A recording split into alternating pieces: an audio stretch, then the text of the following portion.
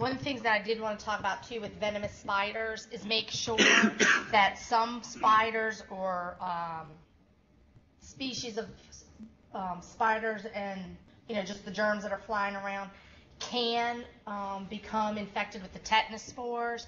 So I don't know if your agency requires you guys to have tetanus shots um, at a minimum of every 10 years or not. Um, but just remember, kind of keep your, your tetanus shots up to date as well.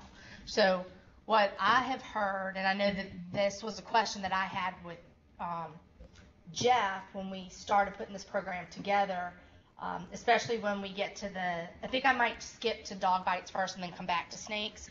Um, so go advance two slide, uh, another slide. Oh no, that's it right there. Um, one of the questions that I had to Jeff was, were rabies vaccine, vaccinations pre-exposure being offered? And I know there are some agencies that provide it. I wasn't sure about you, so it sounds like Cumberland's doing it. Is anybody else um, doing that? Norfolk said they were doing it too. Is anybody else online doing it? I know it was on the health assessment, but I wasn't sure if they were Okay. actually. I think that's a that's an important piece of information for from a workers' comp perspective to know, um, especially with the treatment that they just talked about. You know, two shots versus several shots, um, or you know, four a series of four shots, two two days apart versus you know m- multiple shots over a longer period of time. So let's go ahead and talk a little bit about dog bites. Um, because we had quite a few, um, and I know that this is sort of a hot topic for you guys, or some of you out there. How are we preventing dog bites now? Or do you have any questions about dog bites? How to prevent them? Because there are some strategies and techniques that can be used, and um, I know that we're getting bit quite a bit. So, what? Any questions out there? Any thoughts on it? All right. Well, let me give you what I would consider to be best practices related to um, if you have an aggressive dog that's charging you, or you have um, a dog that you're not familiar with. And I know that there's a push or a movement out there that people want to use mace or pepper spray. And I think the thing that we need to stop and take a look at is if we as an agency make that available, or we as an agency issue that to employees, then we have to train people on that particular um, defensive product. And with that training comes actual exposure to the to the product, which means just like a law enforcement officer, that you have to be exposed to the material you're going to be um, spraying because there's going to be mist that comes back at you as you're spraying the animal or whatever, or the individual, whoever.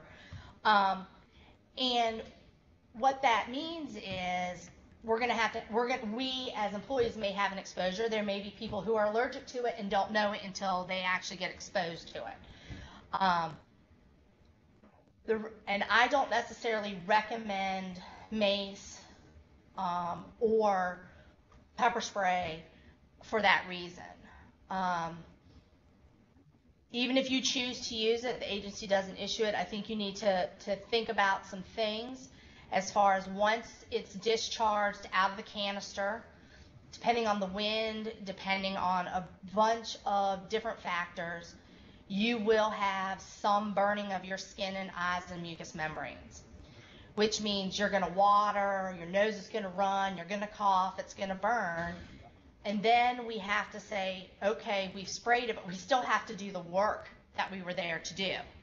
Um, which means you may need to have to carry extra water bottles to wash your face, wash, wash your arms, your hands, where you're exposed to it. So you're going to have not only the exposure to yourself that you're going to have to try to wash off the best that you can. Um, you've got the animal or individual that you've sprayed, and then um, you know you still have to do your work. So what my recommendation or what what is typical um, non-hazardous to human type um, sprays is just using. If you go to the grocery store, um, there are you know like lemon juice or lime juice in the canisters that look like a lemon or lime, and if you squeeze it, it's got a pretty strong projectile. Um, it's acidic, so it's going to burn the dog's eyes. Um, it may burn, it may not taste good, so it may alleviate their aggressiveness. Um, there are some other products for purchase out there that are not supposed to be harmless or harmful to humans. I personally have not tried those. Um, I've done some research on them, um, and I don't know how effective they really are in preventing an aggressive dog from stopping. Um, the other thing you can do that um, if you have a dog that's charging at you is use the things that you have an umbrella and open up the umbrella so that you have the umbrella as a barrier between you and the animal um, until you can get to a safe place back into your vehicle um, or on the, another side of the fence. So those are things that I would recommend. Um, I would probably would not recommend the route of mace or um, pepper spray, only because that can create a whole nother layer of issues that you have to think about from a worker safety perspective standpoint. So, um, any questions about that? Anybody used any other products that um, have that are or have been effective? Let's talk a little bit about snakes. Um, in the Commonwealth of Virginia, there are roughly three snakes that are venomous. Um, you have the cottonmouth or, or water moccasin that are located in the Tidewater region of Virginia. There's a couple colonies here locally in Chesterfield. Um, there's and the on the Appomattox River. Um, so that's where you're going to find most of your uh, water moccasins, cottonmouths. The second um, or the largest venomous snakes in the Commonwealth of Virginia are copperheads. Um, the difference between a copperhead and a water moccasin um, is difficult to tell when they're in their juvenile state. They look the same. They're going to be kind of a brownish color, and they're going to have like an hourglass band on them.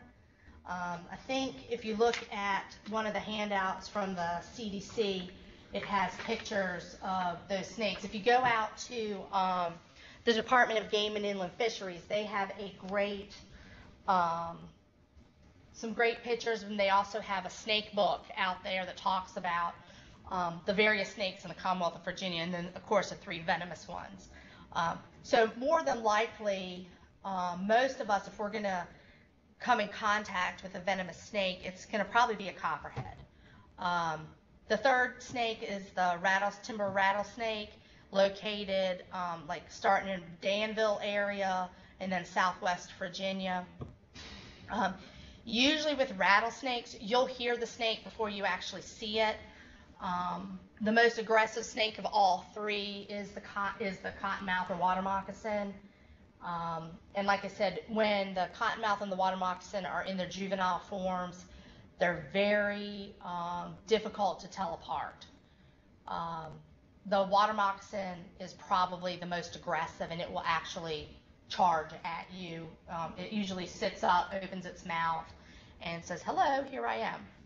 Um, so the things that those are the now there's a variety of other snakes. The way you can tell the difference between a venomous snake and a non-venomous snake um, is going to be the shape of their head.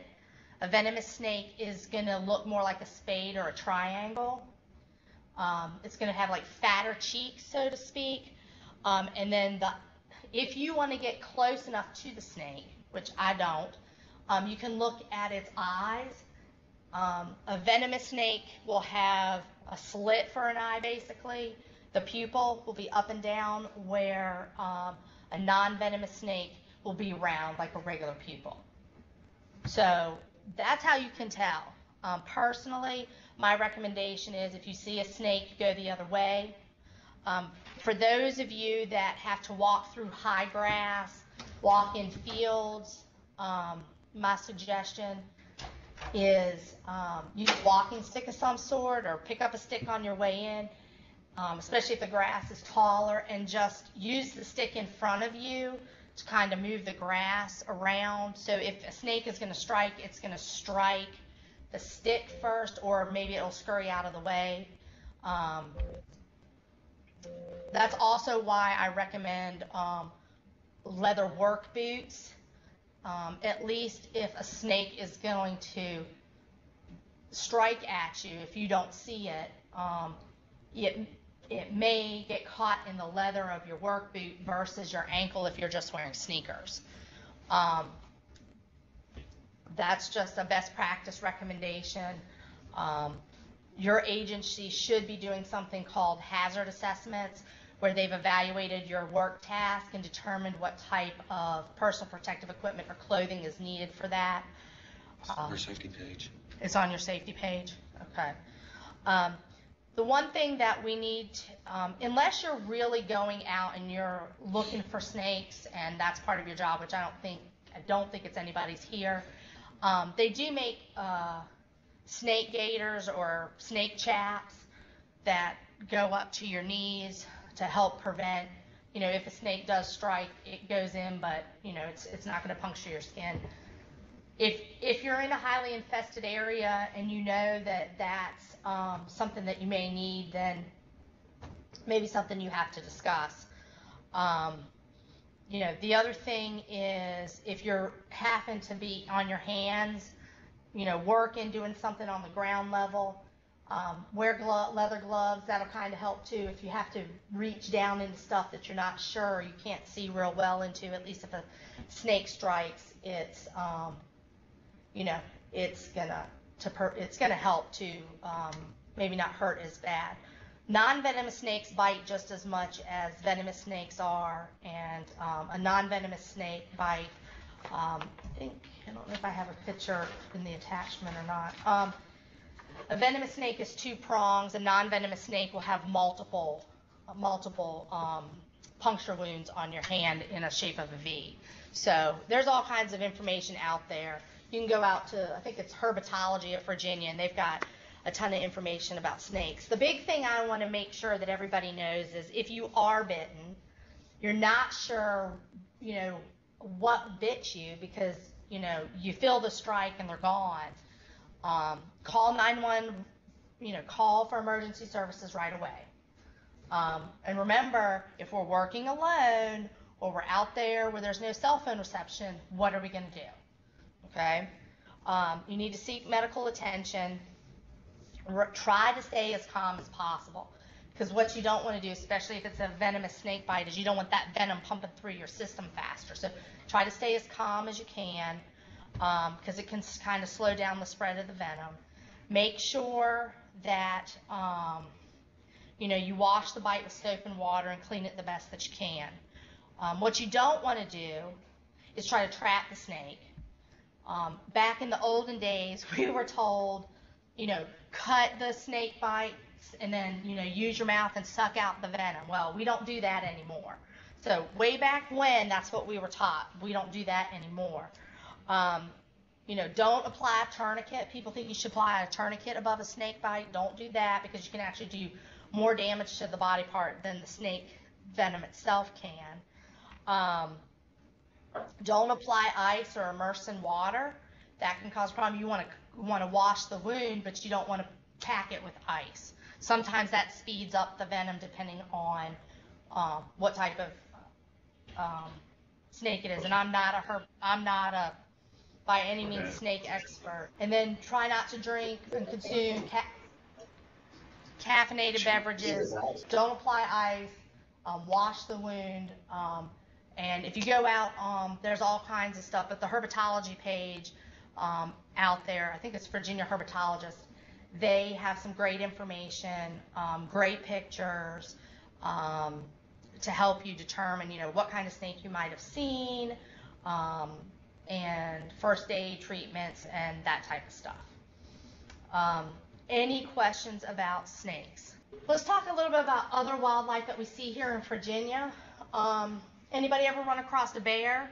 Wild pack dogs, feral cats, mountain cou- cougars. There's a bunch out there in, uh, well, I shouldn't say a bunch. There are some out in Southwest Virginia. Coyotes, foxes, all those animals are out there. So you need to be aware. Groundhogs, raccoons, possums, all those, you know, all those types of animals. Remember, the best thing to do is if we're, we're not going to stop the wildlife, but if you come in contact with it, what are you going to do? What's your escape plan? So think about that. There's also a um, some information about living with black bears in Virginia. Um, that's from the Department of Game and Inland Fisheries. Um, we're seeing more and more black bears coming um, into more urban settings. I know here locally there's that one. I don't know if they ever caught that one in Henrico that's been hanging around in that neighborhood. Um, but I do know that not too long ago, um, out on 460, I'm not sure when it was, but um, a black bear ran out in front of a tractor trailer and um, was killed. And it was a 450 pound black bear. So um, they're out there um, because we as humans are encroaching on their space. Um, they're starting. You're starting to see them more prevalently. I know that um, the coyote population is growing. I know that um, foxes, both red and brown fox, are coming um, out, and you see them more.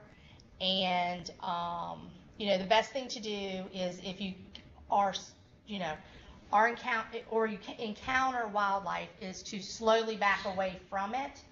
Don't run from it. Sometimes that's the misconception. You just slowly back away from it and get yourself to, um, you know, a, a safe place and try not to get cornered. I know that some of you, you have to go trap animals and you're taught techniques and um, procedures on how to do that. Any other wildlife that we've talked about or haven't talked about that you've encountered and had issues with or know somebody's had an issue with? Let's talk a little bit about poisonous plants. Um, poisonous ivy, leaves of three, let it be. Um, there's a sample sheet that I uh, provided, a couple of them, one from the NIOSH and one from um, the Centers for Disease Control. Um, pretty much all this information, a lot of the information, um, even the doctors talked about, you can find out on CDC, which is a great resource. Um, they have great information out there to help and assist you with this information. Um, one of the things I want to talk about from a workers' comp perspective and a injury accident prevention perspective is even if, if you see this this picture on the right of this tree. On this tree, if you look at it, are poison ivy vines, and they look kind of hairy. Okay, so it looks like a dead vine, but it's got hair on it. Um, even though it looks dead, you can still, if you are sensitive to the oils in that vine, you can still contact poison ivy or get the blisters from it. So the important thing is to remember that even though today you are not prone to getting the blisters from poison ivy and you've been exposed to it thousands of times or hundreds of times, it doesn't necessarily mean that the next time you touch it or come in contact with it that you won't get poison ivy. Um, so the best thing to do is use barrier creams. If you know you're going to be out and about around those things, use those long sleeves again, long pants. That's why I don't encourage shorts by any means um, for the ticks and the bugs and then the poison ivies. Um, if you do come in contact with it and you are sensitive to it, wash that area the best that you can. And the best thing is make sure you're not scratching and then transmitting it. Um, and I have to say this because we I've seen it happen.